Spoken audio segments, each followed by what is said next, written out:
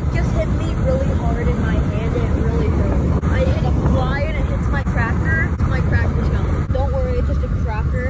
Up it and it goes flying out the window. It's just gonna be food for like a bird or something.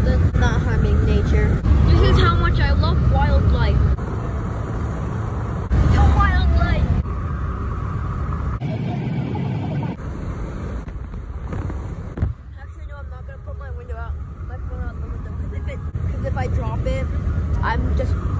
What's the